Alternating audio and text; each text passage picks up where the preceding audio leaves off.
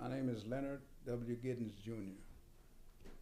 I was wrongfully convicted in Carroll County, Georgia in 2003. I was uh, indicted for murder, malice murder, felony murder, aggravated assault, and the judge added as a lesser charge voluntary manslaughter.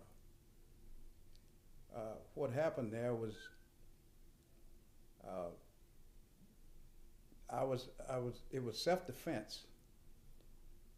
But in order to get a conviction, they had to uh, inflict a wound on the deceased, on the side of his head, to make it seem that it was two actions when it was only one.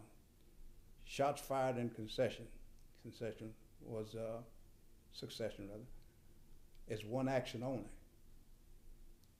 And by them inflicting the wound on the side of the head, they were saying that he, the, the deceased, was uh, no longer a threat. He was no longer a threat, and that I took advantage of him while he was no longer a threat. So that's how they convinced the jury to convict me of aggravated assault, even though they found me not guilty of the malice and the felony murder.